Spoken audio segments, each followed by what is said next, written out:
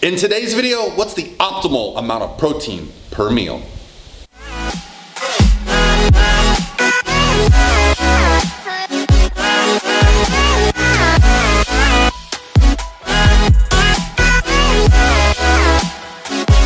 all by myself. What's going on everyone? Welcome back. Paul Revelia from Pro Physique, and this is my man Stephen Beaugrand, Science with Steve. Welcome back, buddy. Hey, I like being over here. It's Yeah. nice out.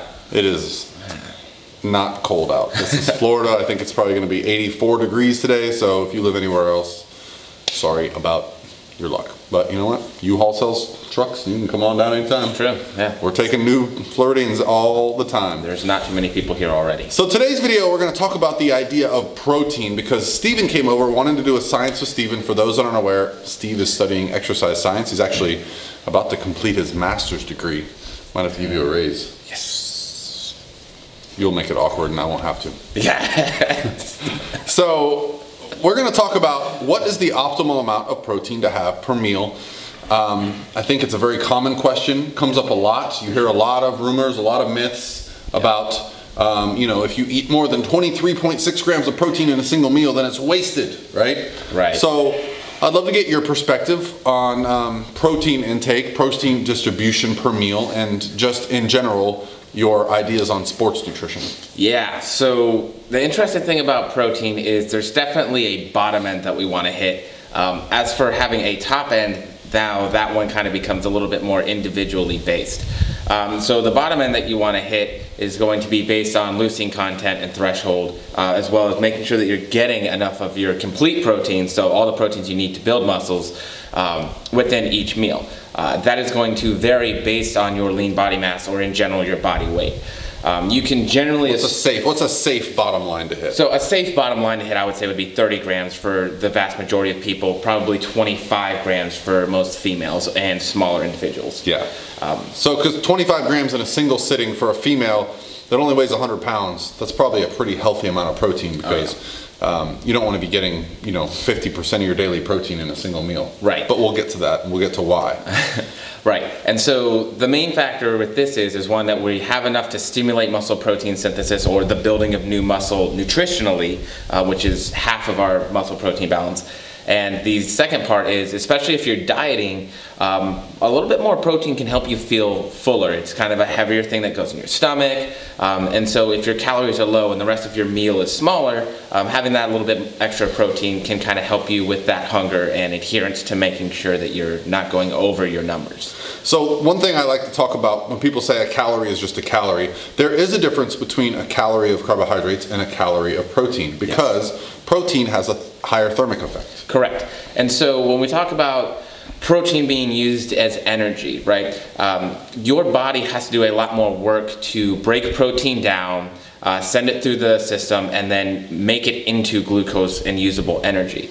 Um, just simply going through that process costs your body more energy than it does, say, for carbs or for fats, which is pretty minimal or pretty much nothing. Recently, some research has come out that suggests that bulking on a higher protein diet can make it more difficult to store as body fat. Right.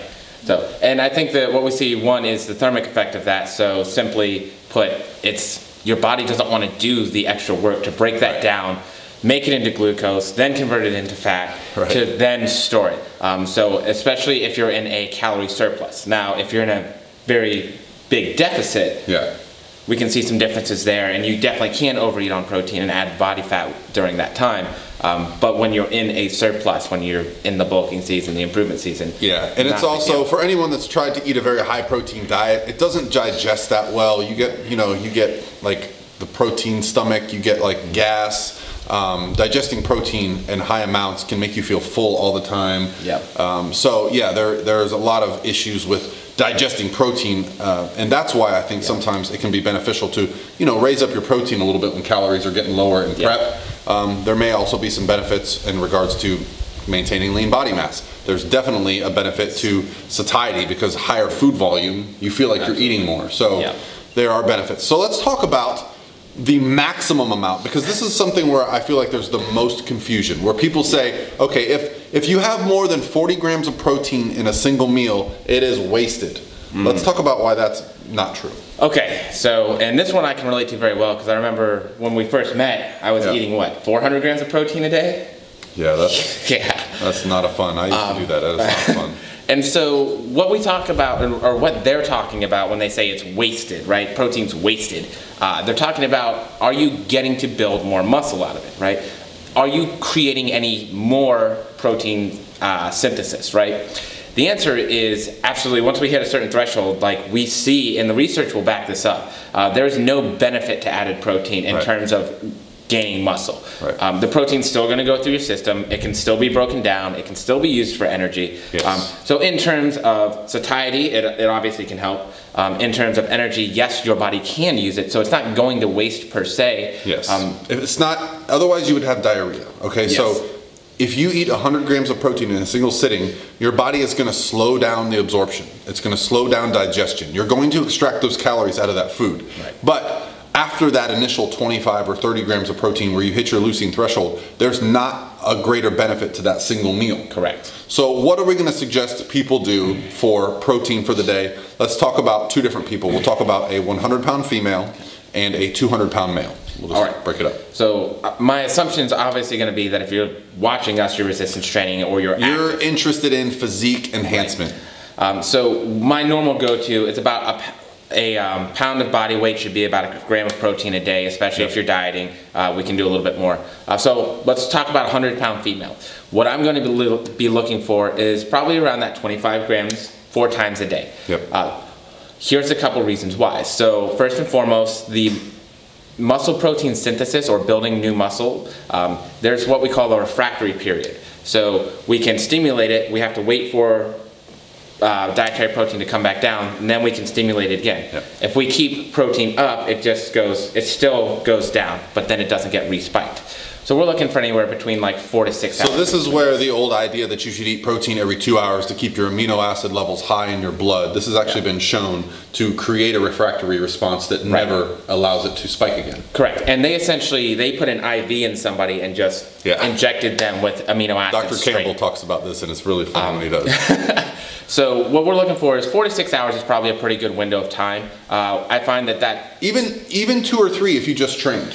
I would I would say three is probably my my yeah, end. but a lot of people like I, you know, I hear them say, "Well, if it, if it's six hours or four hours and I just train, do I have to wait?" Right. I, I think digestion, in my opinion, is sped up. Muscle protein synthesis is sped up because of the training. Right, and Dr. Campbell will agree with you on that one as well. Um, he'll say that if I had protein before my workout and my option is to have protein after my workout or not have protein after my workout, I'm having protein after my workout. Um, So it's don't don't feel like you're going to lose out on all your Right. progress if you don't have something immediately. But you know, typically as coaches, we're going to suggest you have your next protein meal as close to your workout window as possible without you know, Absolutely. being neurotic. Correct. Um, and so what that does is not only does it say, all right, I can spike protein synthesis evenly throughout the day, Yeah, so four times if you're Right. spacing it out. Um, but it also gives you protein four times a day, spaced out pretty well to help with hunger and satiety. Also. Hunger, blood sugar, digestion. You know, Right. you got something to look forward to. We are proponents of lifestyle dieting, right? So we're not anti-fasting, we're not anti-keto, we're not anti any of that. We're all about what fits your lifestyle. But we as physique coaches have to give you advice that we feel is the best. And then you can make your decision if it's the best for you. So if I have a 200 pound male, I'm gonna want him on 40, 35 to 40, maybe 45 grams of protein per meal minimum, just because it gets difficult to hit 220, 230 grams of protein that I might have that person on if you're having 30 gram meals. Right. You're not going to eat eight times a day to get there, right? So Right. um, we're going to be eating larger meals. To, to, to, to accomplish that, I'm going to space them out three, four, Right. five hours, maybe even six, just depending on the person. I personally like the four to five hour window. I feel that's perfect for, for athletes. But if it doesn't fit your lifestyle because of shift work, because of your schedule, um, because you prefer to fast, then that's fine. But this is just what we suggest, what what the evidence shows might be best, and what we as competitors, athletes, and coaches have seen to work best. So Yep. there is no maximum amount of protein that's bad for you. Correct. There is such a thing as too little protein because you don't hit your leucine threshold. So getting 15 grams of protein 10 times a day is definitely worse than getting 30 grams of protein five times a day. and you definitely want to make sure that it's a complete protein in terms. So if you're a vegan or a vegetarian, whatever the case may be, Yep. understand you have to pair your proteins to make sure you're getting complete proteins. Otherwise, it's still not Yeah, and you the can trick. you can obviously add leucine to any. Um, they have actually shown that by adding leucine into the studies, they got the same response as a whole protein source. So hopefully that helps you guys out.